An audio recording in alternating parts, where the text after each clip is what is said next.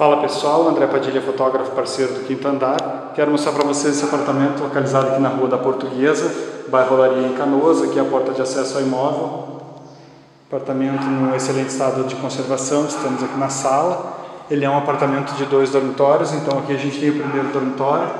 Imóvel bem iluminado, muito bem ventilado, uma região muito tranquila aqui no município. Um bairro muito tranquilo que está em constante crescimento e desenvolvimento aí. Então, o primeiro dormitório, aqui nós temos o segundo dormitório, também, né, uma excelente iluminação natural. Olha só. Muito bem iluminado. Banheiro com pia, sanitário. Espera para chuveiro elétrico, né, todo revestimento cerâmico aí no banheiro. E aqui a parte que contempla a cozinha, né, toda um revestimento cerâmico na parede do fundo a espera para pia, temos aí churrasqueira, entrada de gás central, tanque, espera para máquina de lavar, aqui é a churrasqueira, então churrasqueira interna no, no imóvel, uma excelente infraestrutura aí.